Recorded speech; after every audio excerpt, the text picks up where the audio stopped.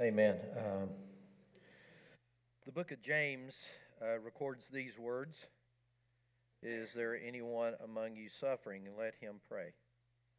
Is there anyone cheerful? Let him sing psalms. Is there anyone among you sick? Let him call for the elders of the church and let them pray over him, anointing him with oil in the name of the Lord and the prayer of faith will save the sick, and the Lord will raise him up. Uh, had uh, two folks to come uh, and approach me before, even before Sunday school, and um, they want to put into practice what we know to be true in the Word of God. So, uh, Cindy and Mia uh, want us to pray specifically over their eyes. Uh, they're having eye, problems with their eyes. So if you come up here and get next to Sandra and uh, little Nova uh, in the nursery, her eyes have, have changed, and uh, uh, they're going to bring her over. And so I want to call for the elders of the church um, to come and pray. But also, I'd like to extend this invitation to you. If you're here and you're sick in your body and you believe that, uh, uh, that the Lord's able to heal and you want us to anoint you, I would be more than happy to anoint you and uh, call for the elders of the church, and they will pray over you as well. So, God is able. There is nothing impossible for God. Amen. Uh, you don't have to be a member of this church for us to do that.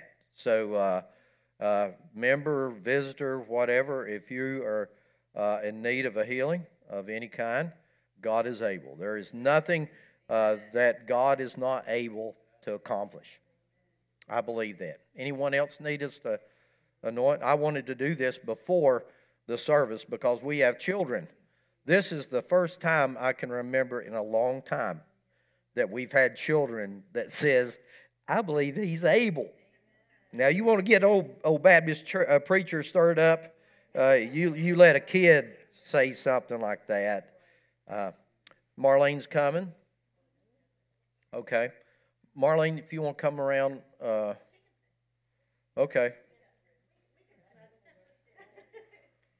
Oh man, we got a we got a pew full. Uh, Anyone else?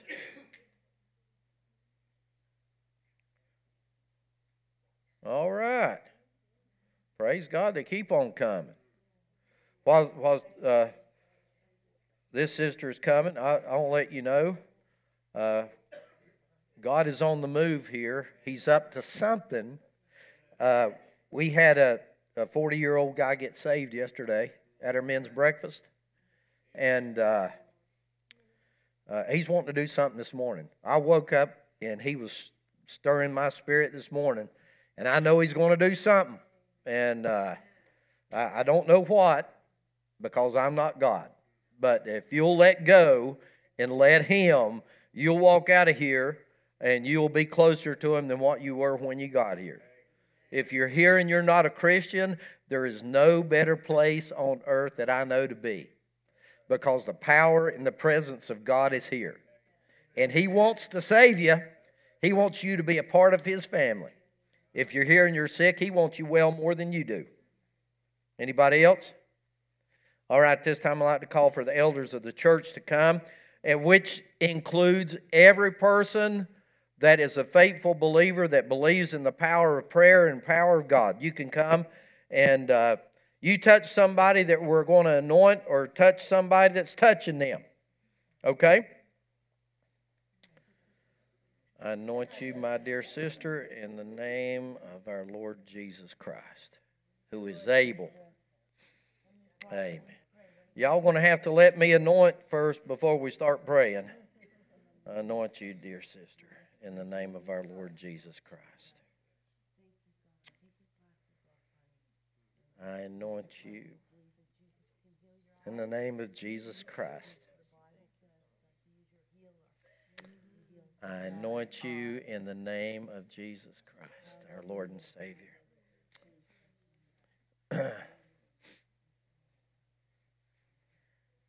Let me sneak in here, King. I anoint you, my dear sister, in the name of the King of Kings and the Lord of Lords. I anoint you, my dear sister, in the name of Jesus Christ. I anoint you, little one, in the name of our Lord and Savior. I anoint you, my sister, in the name of Jesus Christ. All right. Father, I thank you and praise you, honor and glorify you because your word is true. What you say, you will do. And Lord, we lift all of these up unto you this morning. God, you know the need of each and every one. You are the great physician, you are the great healer. And we give you thanks and we give you praise. God, we just call upon you to work in their lives what's needed to be done.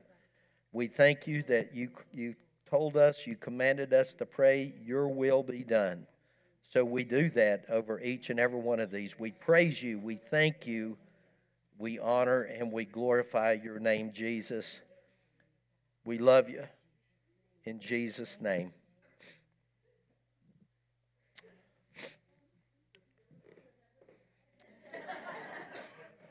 Amen.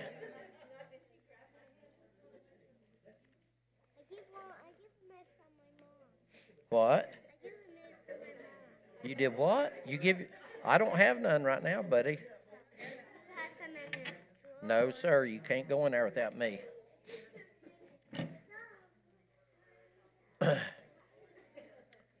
All right, children's church. Whoever's doing children's church, church, we got a, got several, so.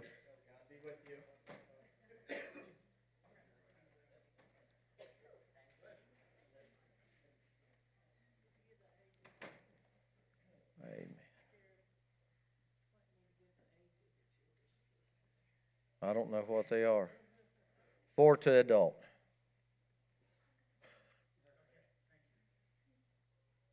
We don't check IDs, so God is good.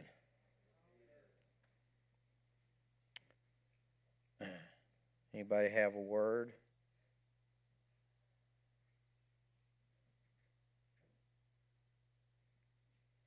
Don't be silent on me. Turn with me in your Bibles to uh, the 26th chapter of the book of St. Matthew. If you don't have anything, I've got a plenty. Do you? Amen. He's telling all of us. Amen. We've got all the tools necessary to offer you for that. Amen. We need to step out in obedience. I think he's calling all of us into that, sis, if we're be honest. You know somebody's talking about you? Did you? Would it come to a shock? Would it be a shock to you? For you to find out there's somebody talking about you? We're none of us are so naive to know that, right? That there's not somebody talking about us. Your name's on the lips of somebody, maybe many. Whether it be for good or be for bad, somebody's talking about you. Y'all agree? Uh, Tommy, I'm glad you're here, son, because you're leading the charge in the amen department. So looks like it's going to be 50 bucks a piece this morning. But somebody is talking about you, whether it be for good or for bad. So, church of the living God, Emmanuel Baptist Church, my brothers, my sisters, let's give them something to talk about. Amen. And not bad. You know, I should have specified that because some of you might be thinking about that Snickers bar that you can't afford that you're going to sneak down to Walmart and snag. But let's give them something good to talk about. I've been rejoicing over Jimmy Clages, Clages, Clages, uh, ever since the breakfast. 40 year old man. Man, it's awesome.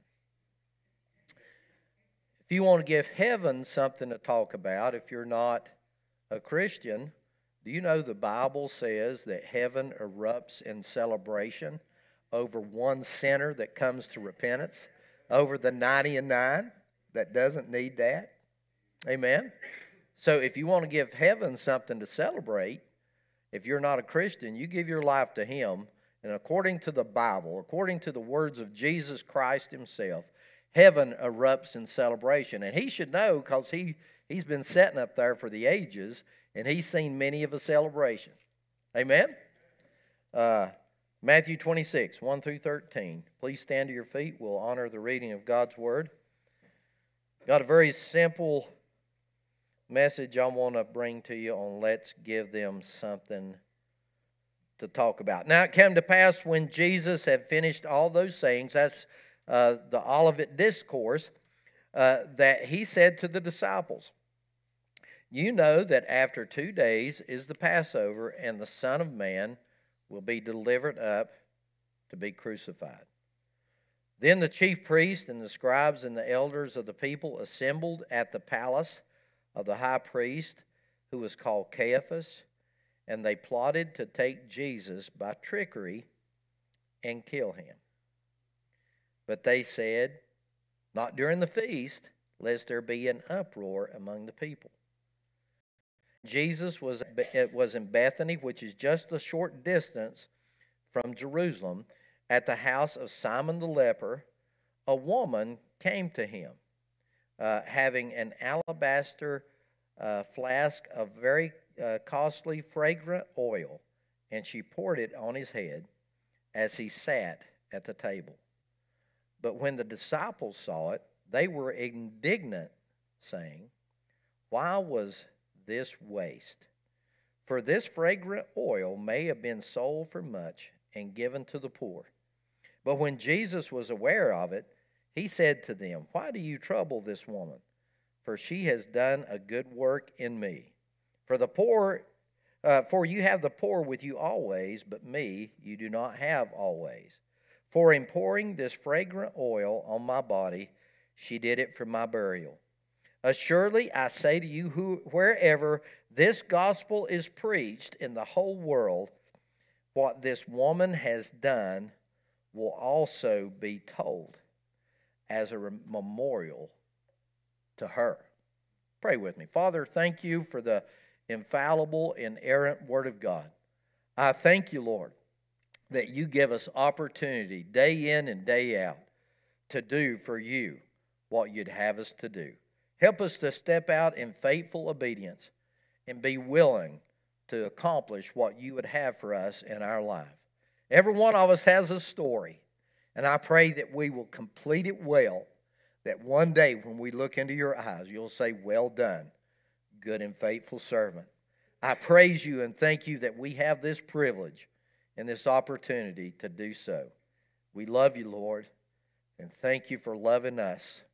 In Jesus' name. Amen. God bless you. You may be seated. In this text, we see one of Jesus' followers uh, move in faithful obedience out of worship to him and sacrifice a great deal. Just to be talked about by who? Not the enemies of Christ. If we look at this text very closely, it's not the enemies of Jesus that's doing the wrong talking but by the ones that are following him the closest. The disciples rose up and they started to criticize this lady that stepped out in faithful obedience. If you look at the Gospel of Mark, it said they sharply criticized her. In other words, they scolded her for stepping out in faithful obedience to what the Holy Spirit was telling her to do. How often do we find ourselves on the wrong side of the ship when it comes out uh, when it comes to something like this?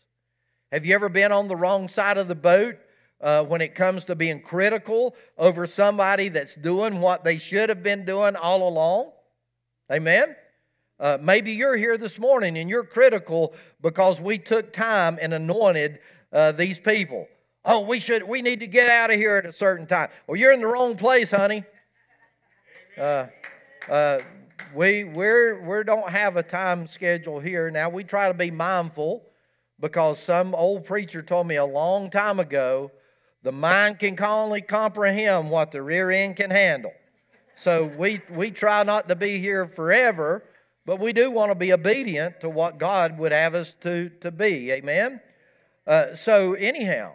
Uh, I've been on the wrong side of the ship and tried to be critical over somebody doing what they were called to do.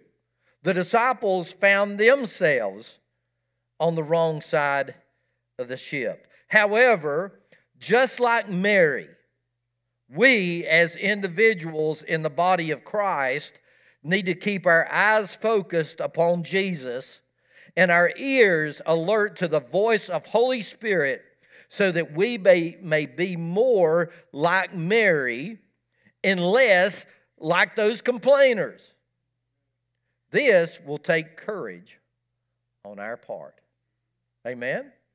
Three things that I want to share with you about when it comes to faithful obedience in Christ. Amen? Three things I want to share with you about in being faithful, obedient servants, faithful, obedient children in the kingdom of God. Amen? Yep. And uh, I, I believe He'll bless your socks off, so I hope you washed your feet. First of all, faithful obedience. Uh, and the main, the key word starts with the letter A.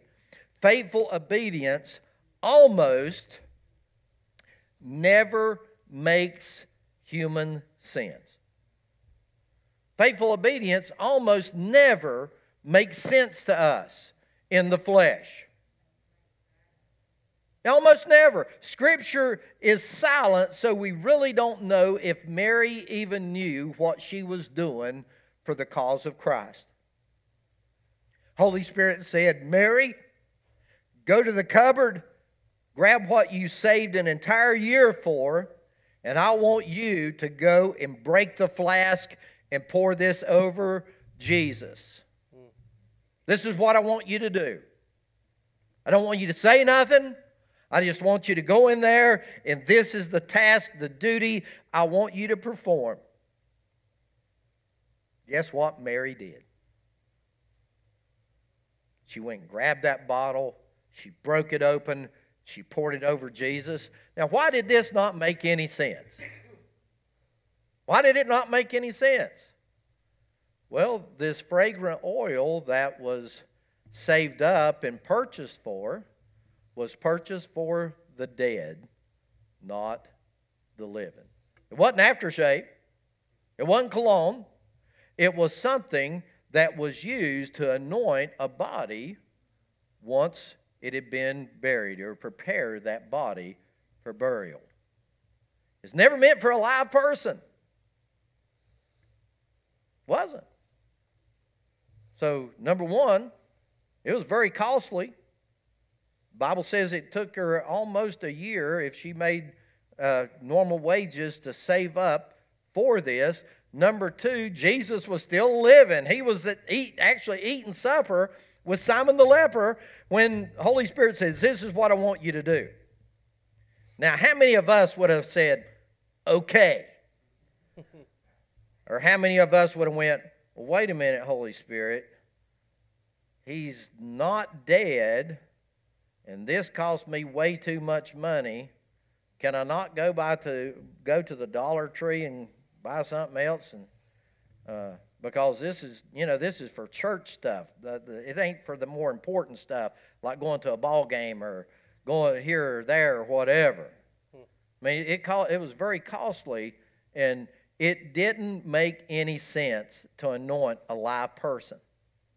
I don't know if it ever got done, but it did on this occasion. Amen. When Holy Spirit moves upon you, the flesh will rise up and say, Wait a minute, wait. We, we need to talk about this because it's going to cost you something. And just to let you know, there's going to be some people talking about you.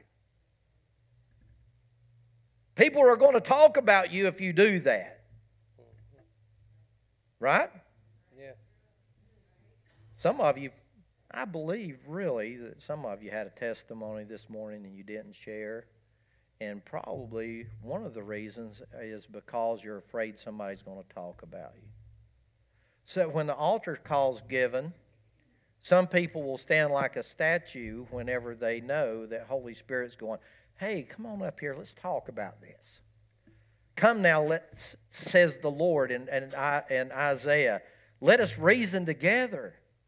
That's what God is saying. But some people are, are afraid or perhaps ashamed to, to come forward at, at an altar call because they're afraid somebody's going to talk about them.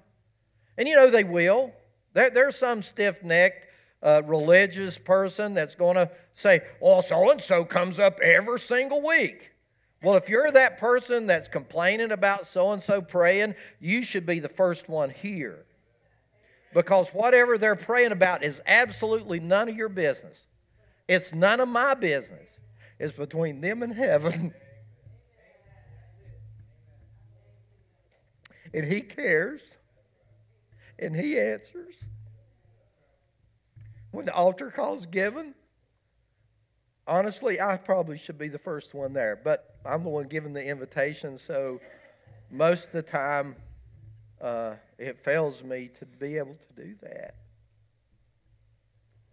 So God knows you a whole lot better than you even know yourself, and He says, Hey, come up here.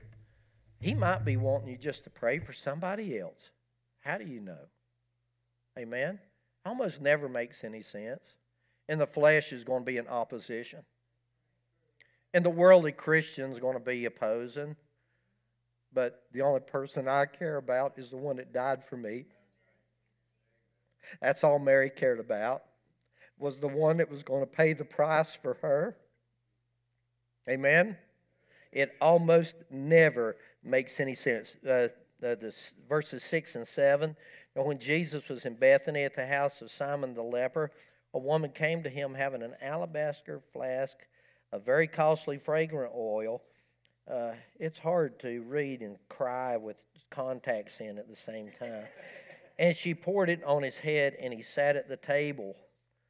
Uh, again, she came to a living person with burial oil and poured it on him. It made no sense. Faithful obedience unto the Lord often makes little or no sense to us. In Scripture, time after time, we see the plan of God unfold that leaves us shaking our heads in how did God do this or that? The way He chooses to do things is simply mind blowing. Take, for example, God intentionally, there was no accident, God intentionally led the children of Israel from Egypt to the Red Sea.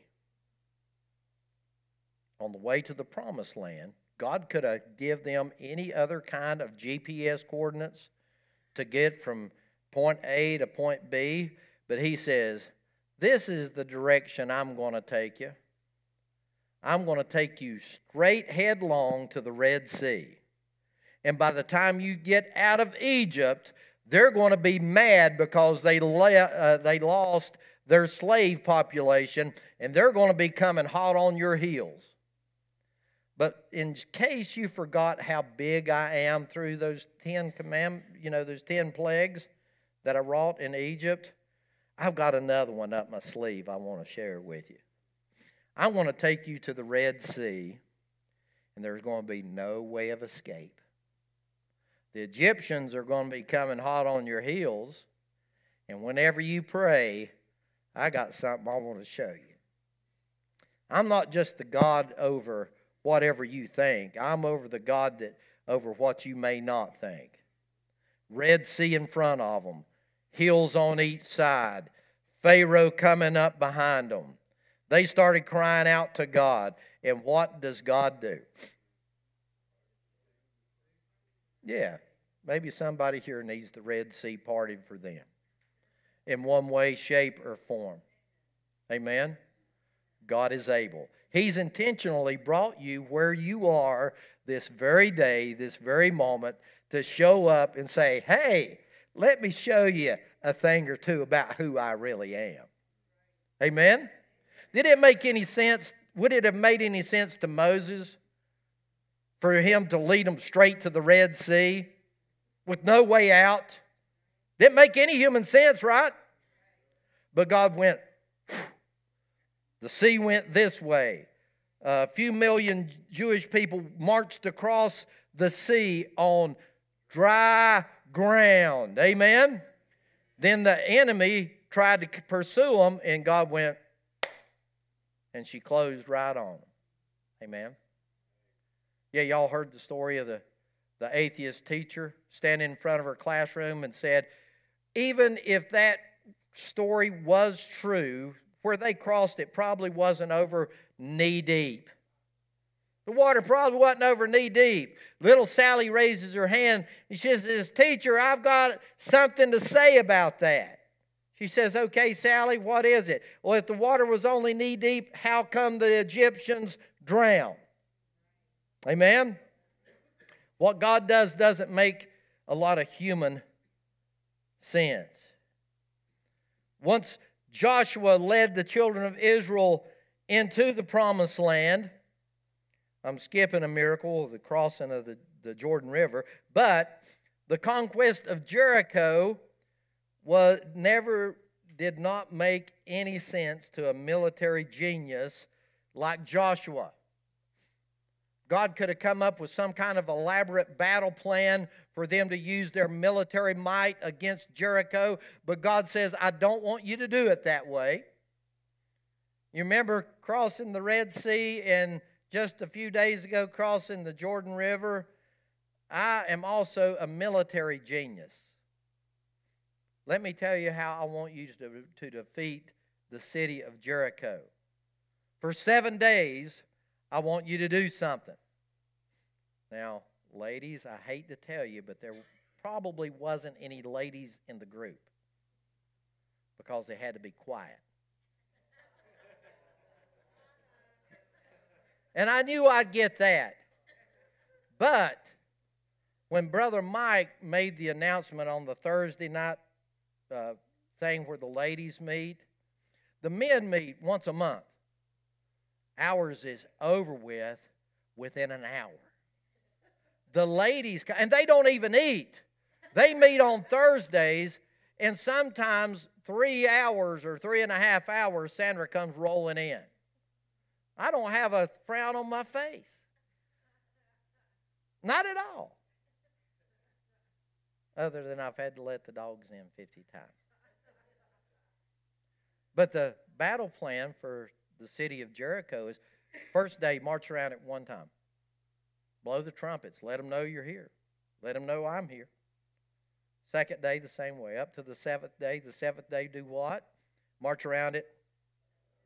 And he says, Be quiet. Don't say a word until I give you the signal. Number one, what made no sense was the, God's battle plan. Number two, what didn't make any sense is God told them to shout before the walls came down. Not after the victory, but before the victory. Right? Before the first person was taken in the city of Jericho, God said, I want you to trust me and shout. Amen? How many people's going to uh, heaven and is heaven bound with a hammer down? Amen. And they have this, well, preacher, when I get there, I'm going to shout. Well, God says for us to shout now. Amen. Amen. Like we're already going to be there. Need mental note, talk more about heaven. uh, Isaiah 55, 8 and 9, the Bible says this For my thoughts are not your thoughts, nor my ways or, nor your ways my ways, says the Lord.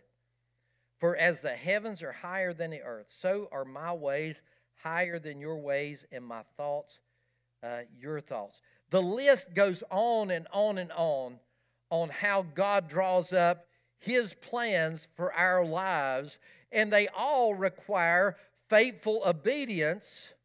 Amen. It, they all require an act of faith. Amen. The act of faith for a lost person is saying what you already know. God brings salvation from your head to your heart, and that way you're saved. Amen? Once you speak what God says, God moves salvation from the head to the heart. Amen. You have to believe up here before it can get in here. And whenever you speak it, then God transfers faith from the head to the heart. Amen. I get so many bobbleheads every week whenever I'm preaching the Word of God. Y'all believe that, don't you?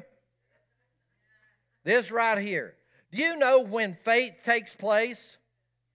When faith, faith takes place, whenever it moves not only to hear, Jesus said, He who has ears to hear, let him hear what the Spirit says to the churches. Faith takes place whenever what you know here moves into here and comes out here and here. Amen? It's not faith until we start moving and acting on what we know to be true. And it takes courage because it doesn't make any sense. Amen? So, whatever God's uh, calling you to do, it's probably not going to make a whole lot of sense to you. But if you step out in faithful obedience, God has promised to bless that. And He will bless that. Amen? The greatest act of faithful obedience made no human sense. It was the uh, matter of fact, it was the course of the darling Son of God giving his life for us, the innocent for the guilty, the sinless for the sinner, so that we may be saved. Listen to what the prayer was in the Garden of Gethsemane later on in the 26th chapter. Jesus went a little further and fell on his face and prayed, saying, Oh, my Father, if it's possible, let this cup pass from me. Then he closed out his prayer, Nevertheless, not, uh, not as I will, but as you will. Faithful obedience. Again, the second time in verse 42, he went away and prayed, saying, Oh, my Father, if this cup cannot pass away from me unless I drink it, your will be done. The greatest act of faithful obedience came from our Lord and Savior Jesus Christ. If we want to be more like him, then we need to step out in faithful obedience. Amen? It'll almost never make sense. Second of all, faithful obedience will anger some.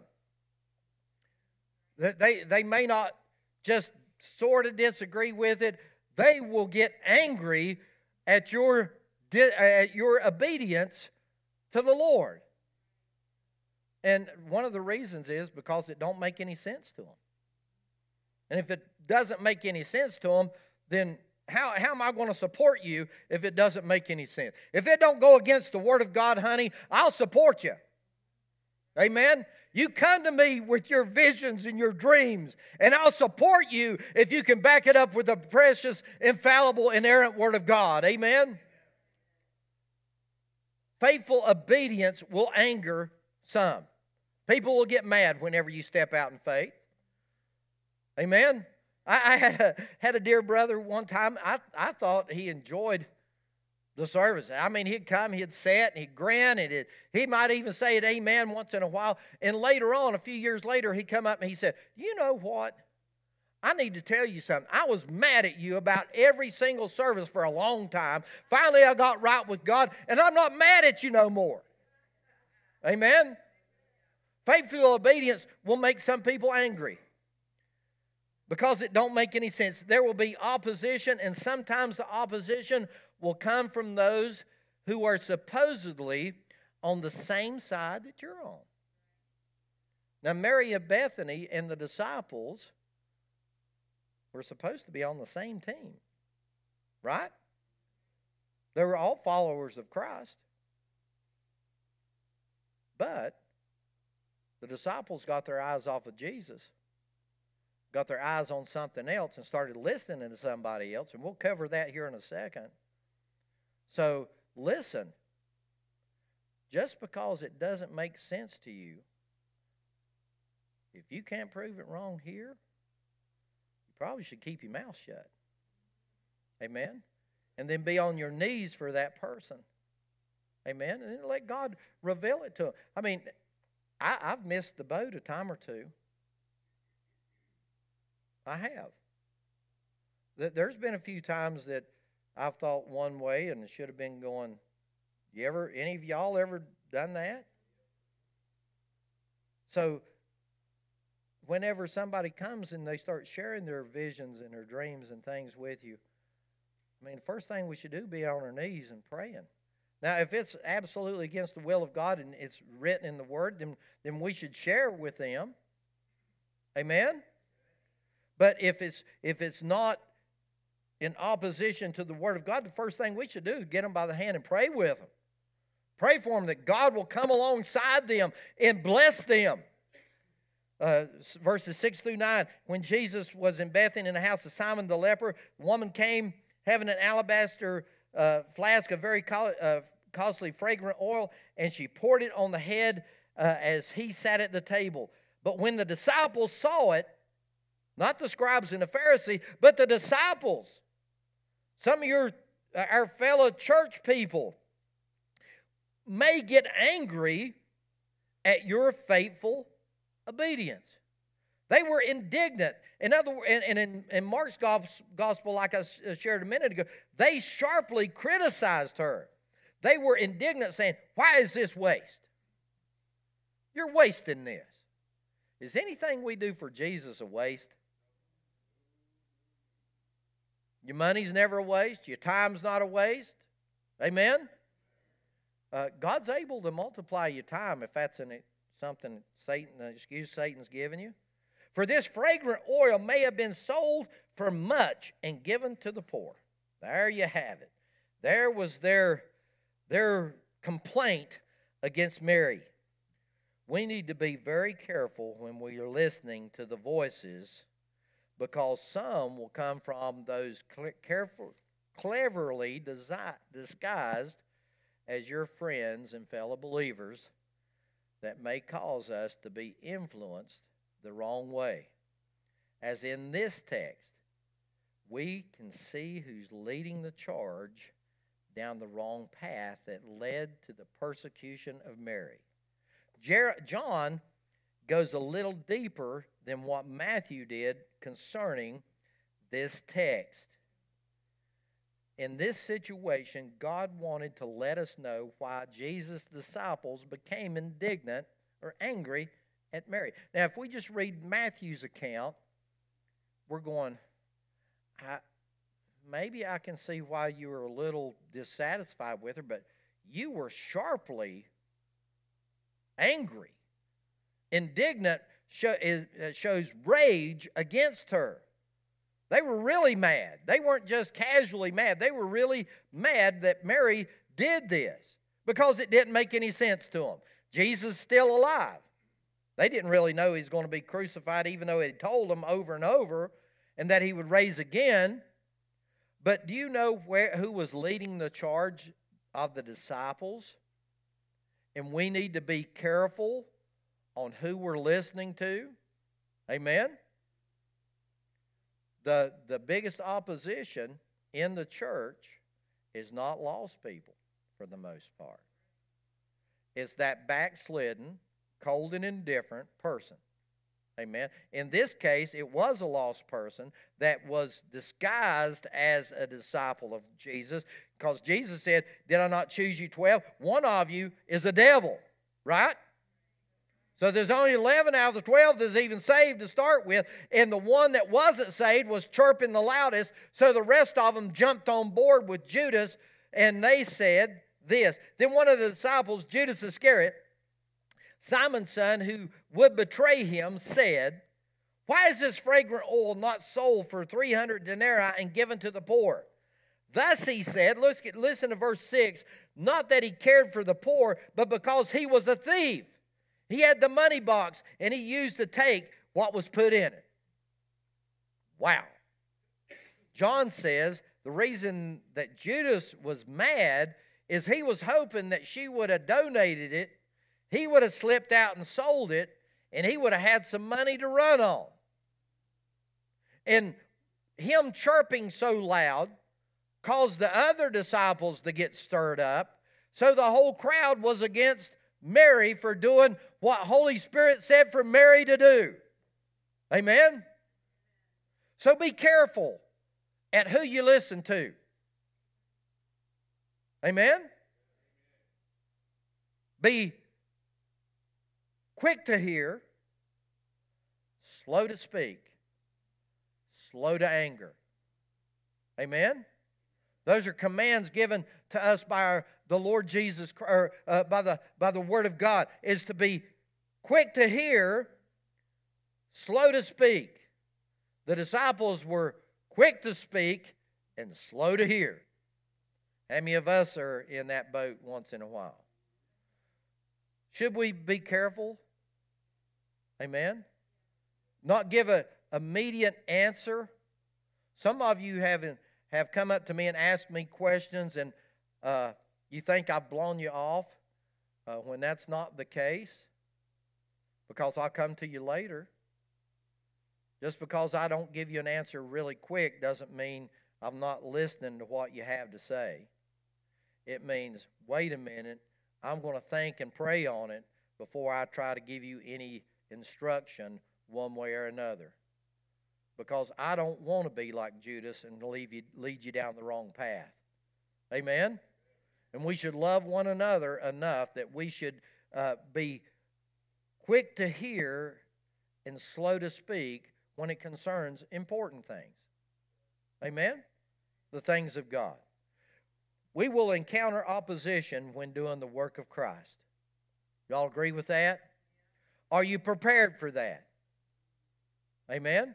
You should be. We should know that there's going to be opposition.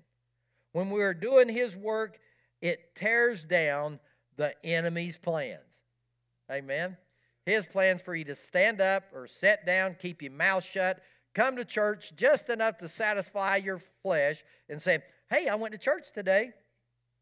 When Jesus says, Come to church with holy hands raised and praise my name and love on each other and get more prepared for the kingdom of heaven.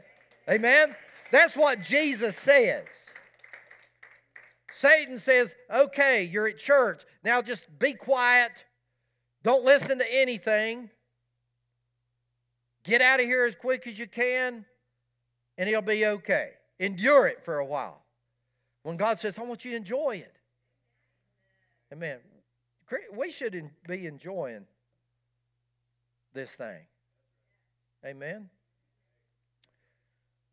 Listen to this, and then I'll move on to the last point. The majority is seldom the right voice. The majority is seldom the right voice. Amen?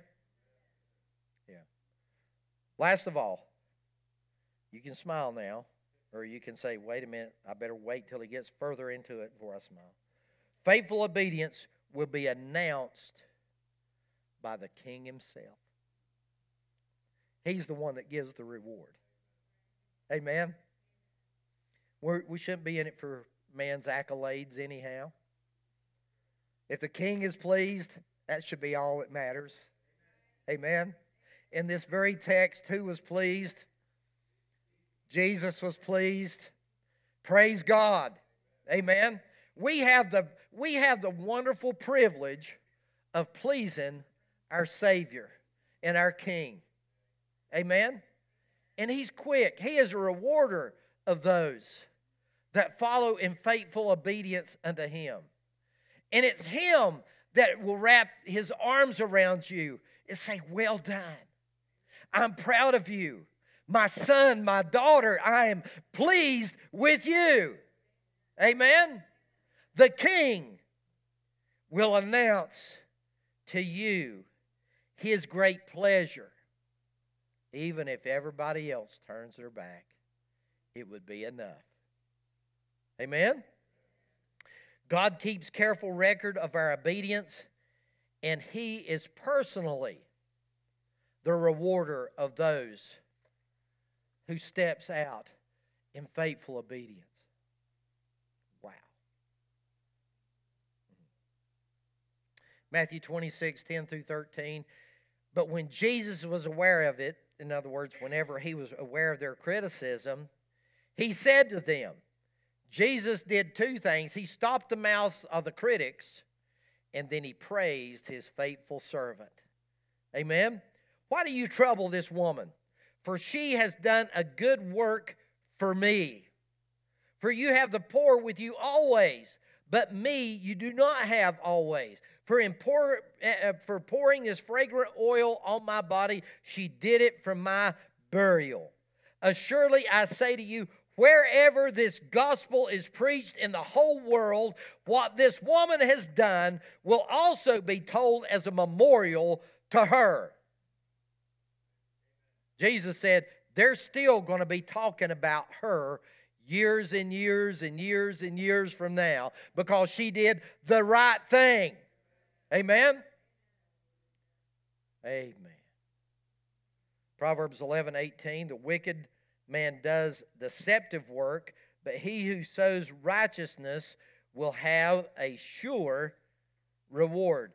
Proverbs 25 21 and 22, if your enemy is hungry, give him bread to eat. If he is thirsty, give him water to drink. For so you will heap coals of fire on his head, and the Lord will reward you. In other words, you'll be playing with their conscience because why on earth are they doing good to me that's been bad to them? Isaiah 62 11. Indeed, the Lord has proclaimed to the end of the world, say to the daughter of Zion, Surely your salvation is coming. Behold, his reward is with him and his work before him. Matthew 16, 27. For the Son of Man will come in the glory of the Father with his angels, and then he will reward each according to their works. Colossians 3 23 and 24. Whatever you do, whatever means, means everything. Do it heartily. You ever miss out on your reward because we do things less than heartily? Whatever you do, it doesn't mean just church stuff. Whatever you do, do it heartily as to the Lord and not to men, knowing that from the Lord you will receive the reward of the inheritance, for you serve the Lord's Christ.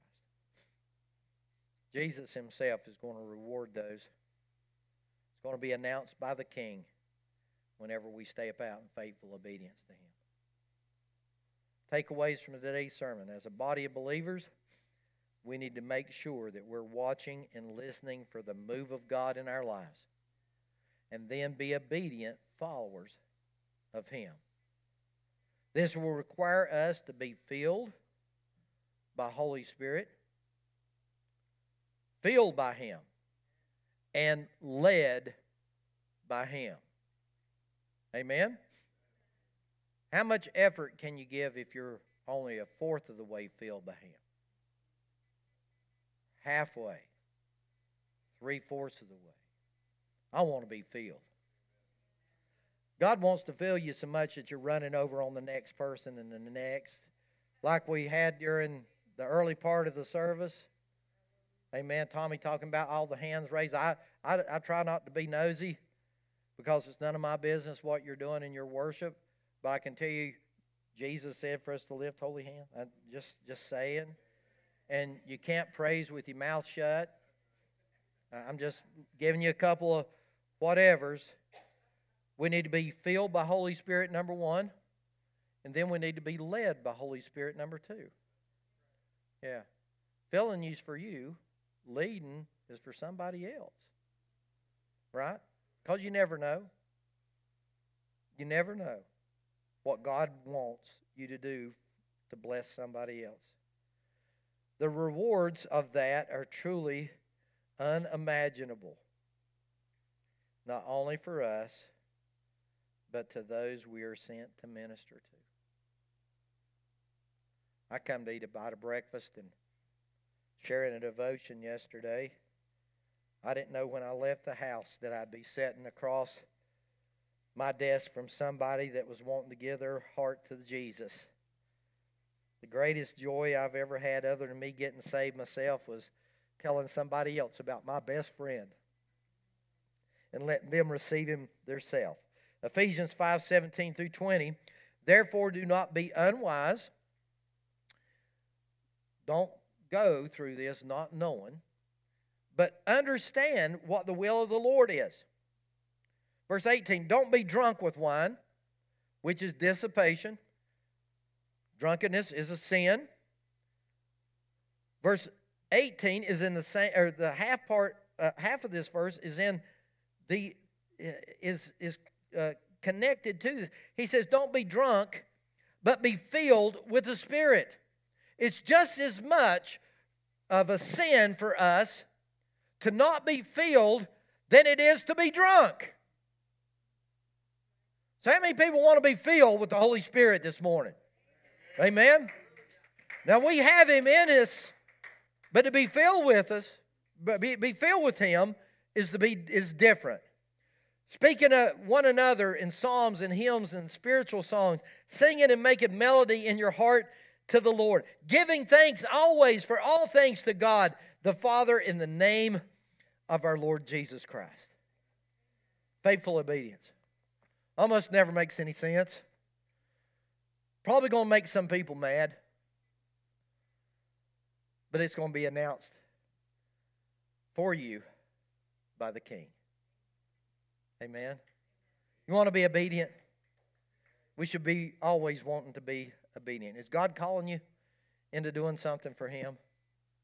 May I encourage you this morning step out in faithful obedience, and He'll reward you. Amen. Even if it's not making any sense to you. Please stand to your feet. Father, thank you. Uh, worship team, come on.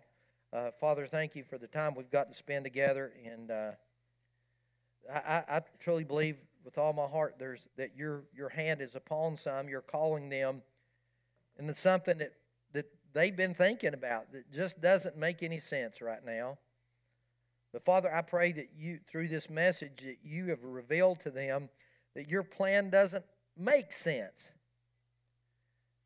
if you are for us, praise God, no one can be against us. Because greater is you that lives in us than he that's in the world. Give us the courage to be obedient to you this morning. Uh, be, give us the courage to be filled with your Holy Spirit and to be led by you as we go in and out among other people and minister to each other. Help us. Lord, to be pleasing in your sight like Mary was.